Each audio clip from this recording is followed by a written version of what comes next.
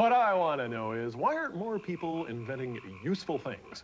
Like Mr. President. This is Max Max Max Max Max Max Max Max Max Max This is this is this is Barack. This is this is this is this is Max Max head Max head Max Max Max Max Max Max Max Max head Max head Max head Obama. This is this is this is this is Obama. This is this is Max Max Max headroom